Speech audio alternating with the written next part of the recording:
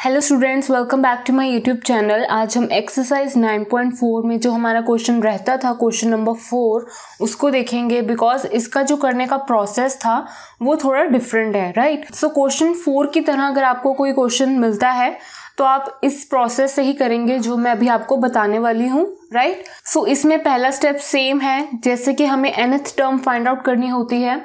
सो so, हमें वही find out करनी है इसमें भी पहले। सो so, पैटर्न को देख के हम एनथ टर्म अपनी निकाल लेंगे। So you know that one two three की जगह ऑफ़ कोर्स यहाँ पे वन अपॉन करके ही लिखेंगे।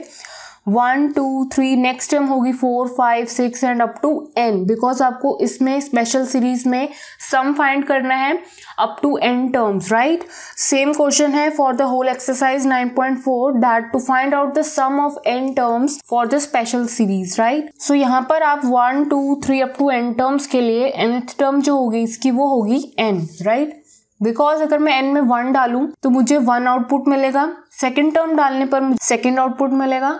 थर्ड टर्म डालूँगी एन में तो मुझे वो थ्री ही देगा. So yes the nth term is correct for one two three four yes now multiply अब इसके लिए टू थ्री फोर सो मतलब पहले ही मुझे फ़र्स्ट टर्म में ही मुझे टू चाहिए. तो अभी तक वन था तो बस एन में एक और ऐड कर दूँगी राइट सो so, बाकी तो रेस्ट वैसे ही है.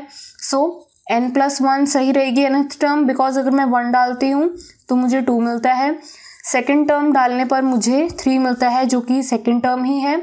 सेम वे थर्ड टर्म डालने पर मुझे मिलेगा फोर सो so, इसके लिए आएगा आपका एन प्लस वन बिल्कुल इसी सिमिट्री में जैसे वन टू थ्री पहले है तो उसके लिए एन है। टू थ्री फोर के लिए एनएथ टर्म है उसके नेक्स्ट में लिखा है एन प्लस वन ये आपकी एनएथ टर्म हो गई है। One upon n into n plus one right अब नेक्स्ट स्टेप बहुत इंपॉर्टेंट है कि हम एनएथ टर्म को सेम इसी एनएथ टर्म को किसी और फॉर्म में लिखें राइट right? और वो है one upon n minus one upon n plus one you can clearly see मैंने यहाँ पे बीच में क्या डाल दिया है? माइनस का साइन इसको वन अपॉन एन को इस तरफ़ लिख लिया है। One upon n plus one को एक तरफ़ लिख लिया है। क्लोज द ब्रैकेट और यहाँ पे आपका क्या आएगा हमेशा? डिफरेंस और डिफरेंस कौन सा? जो इसमें से जो हम माइनस करेंगे, इसको. दैट मीन्स आपको हमेशा इस वाली साइड से इसको माइनस करना है. एन प्लस वन आप रफ में कर सकते हैं. N plus one minus n तो ये आपको देगा डिफरेंस दैट इज़ एन से एन कैंसिल तो इनका डिफरेंस क्या आया है? वन तो मैं क्या लिखूँगी? वन अपॉन वन और ये एज इट इज़ सो आप सोच रहे होंगे कि हमने इस एनथ टर्म को इस तरह क्यों लिखा है? अगर आपके पास इस तरह की स्पेशल सीरीज़ आएगी, उसकी एनथ टर्म फाइंड आउट करेंगे और वो कुछ इस तरह से होगी राइट एक एनथ टर्म इस साइड होगी और मल्टीप्लाई में दूसरी एनथ टर्म इस साइड होगी।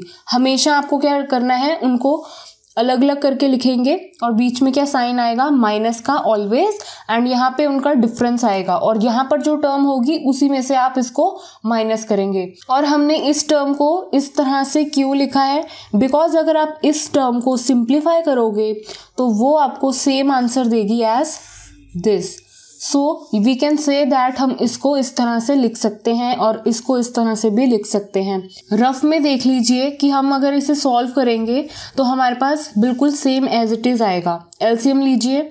N plus one minus n हो जाएगा ऊपर और डिनोमिनेटर में बेस में। N into n plus one जैसे एलसीएम लेते हैं, हमने टर्म ले लिए हैं, वैसे ही एन से एन कैंसिल और ऊपर क्या बचा है? One upon n into n plus one. So you can clearly see that ये दोनों बिल्कुल सेम है। बस लिखने का तरीका एकदम डिफरेंट है राइट right? सो so, हमारा नेक्स्ट स्टेप यही होगा। नेक्स्ट टर्म फाइंड आउट करने के बाद हम इनको इस तरह से लिख लें राइट right? अब इसके बाद नेक्स्ट स्टेप देखो क्या है। ये हो चुकी है आपकी एनएथ टर्म और इसको आप इस तरह से भी लिख सकते हैं बिकॉज़ वन है तो इस तरह से भी लिख सकते हैं। सो so, अब आपको क्या निकालनी होती है? टर्म्स निकालेंगे आप इसके बाद। One two three up to n terms जो भी आपको स्टार्टिंग से टर्म्स निकालते हैं, जैसे हम a one a two a three वो निकालेंगे। इस एन एथ टर्म की हेल्प से जो हमने न्यू फेस दिया है, अपनी एन एथ टर्म को राइट सो ए वन इसमें डालूँगी तो मेरे पास क्या वैल्यू आएगी? One upon one minus one plus one that is one upon one minus one upon two right ऐसे ही ए टू टू इधर आएगा, अब टू इधर आएगा right one upon two minus two plus one that is three a three होगा। One upon three minus one upon three plus one that is one upon four up to एक आप n से पहले previous term भी लिखेंगे that is a n minus one because अगर last term a n है तो उससे प्रीवियस स्टेप होगी। उससे प्रीवियस टर्म होगी n minus one so n के अंदर अब मेरे को एन माइनस वन डालना है। एन माइनस वन माइनस इसमें भी n minus one plus one और माइनस वन वन कैंसिल हो जाएगा तो यहाँ से आएगा n minus one minus one upon n और nth term last term n जब एन में ही डालोगे तो यही आउटपुट मिलेगा one upon n upon one upon n minus n plus one right so हम क्या फाइंड आउट कर रहे हैं अपने क्वेश्चन में? S n that is sum of all the terms up to n terms right so मैंने अपने new N एथ फेस के साथ जो मैंने न्यू क्रिएट किया है, उसकी मैंने टर्म्स निकाली हैं तो मुझे अब इनका सम करना है। तो मुझे क्या करना होगा इन सारी टर्म्स को? प्लस में लिखना है, लेकिन इसी फॉर्मेट में लिखेंगे। ए वन की जगह ये ए टू की जगह ये ए थ्री की जगह ये एंड सो ऑन सो जब इनको सम अप करके कंबाइन करके लिखेंगे अपने टर्म्स को तो इस तरह से आपके पास कोई वैल्यू आएगी राइट सो so, यहाँ पे देखो अगर मैं इन ब्रैकेट्स को रिमूव कर दूँ सिर्फ़ आउटर ब्रैकेट रखूँ तो मेरे को कुछ इस तरह से वैल्यू दिखेंगे अपनी। So you can see that ये जो यहाँ से लेकर यहाँ तक ही सारे terms minus plus minus plus minus plus minus plus minus plus minus plus minus plus minus plus minus करके सारी आपस में जो है वो कैंसिल आउट हो जाएँगी। और सिर्फ़ ओनली टर्म आपकी कौन सी बचेंगी? First and this one one minus one upon n plus one so इसीलिए हमने अपने जो एन एच टर्म को न्यू फेस इसलिए दिया था ताकि हम अपना जो क्वेश्चन है इतनी आसानी से अपना आंसर निकाल पाएँ। यहाँ पे बस मैंने एलसीएम किया है। और आपका सम निकालना कितना ही इजी हो गया है बिकॉज़ ऐसे क्वेश्चंस में आपकी इनर टर्म सारी कैंसिल आउट हो जाएँगी और आपको बस बेसिक एल्सियम लेना है जब आपके पास फ़र्स्ट और ये वाली लास्ट टर्म बचेगी। So n upon n plus one is your final answer for this sum up to n terms और क्वेश्चन नंबर फोर सो इस तरह से क्वेश्चन बिल्कुल इसी तरह से होंगे, इसी फॉर्मेट में होंगे. आई होप आपको कंसेप्ट क्लियर हो गया होगा. नेक्स्ट एग्ज़ाम्पल देखते हैं एक्स्ट्रा क्वेश्चन सो दैट आपका जो कंसेप्ट है, वो दोबारा से रिवाइज हो जाए और एकदम क्लियर हो जाए. But if you still have a doubt you can ask in a comment section okay I will reply you as soon as possible so इसमें भी आपको क्या है? फाइंड करना पहला step nth term find out करेंगे right right?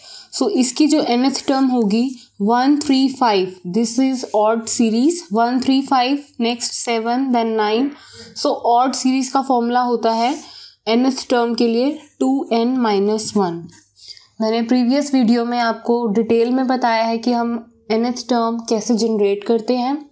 So you can watch that video so three five seven के लिए मैं क्या लिखूँगी? Two n plus one right because अगर आप इसमें वन डालेंगे तो आपको मिलेगा थ्री टू डालेंगे तो फाइव मिलेगा और अगर आप इसमें थ्री डालेंगे तो आपको वो सेवन देगा। सो so, हम इसको न्यू फेस देंगे। बिल्कुल जैसे मैंने आपको बताया है कैसे देंगे। ये वाली टर्म बाहर आता है आपका डी इसमें से इसको माइनस करेंगे।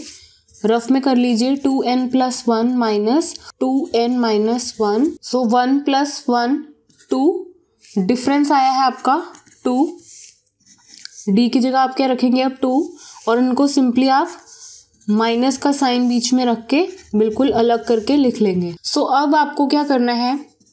एन एच टर्म आपकी निकल के आ चुकी है। अब आपको इस न्यू एन एच टर्म जो आपने फेस जो आपने जनरेट किया है इसमें से आपको टर्म्स लेनी है अप टू वैल्यू डाल के एन की one two three n terms की वैल्यू डाल के आपको टर्म्स लिखनी है। नेक्स्ट स्टेप ये जो टर्म्स की आपकी वैल्यू है, इन सबको ऐड करेंगे बिकॉज़ हमें सम फाइंड करना है इन टर्म्स का राइट एंड यहाँ पे इंपॉर्टेंट स्टेप है। प्रीवियस वाले क्वेश्चन नंबर फोर में आपका जो डिफरेंस आया था वन आया था तो यहाँ पर आपने वन के साथ सारी टर्म्स थी तो आपको वन था वन के साथ मल्टीप्लाई करोगे तो वही वैल्यू मिलती है। लेकिन अब यहाँ पर one by two one by two one by two हर एक टर्म के साथ है।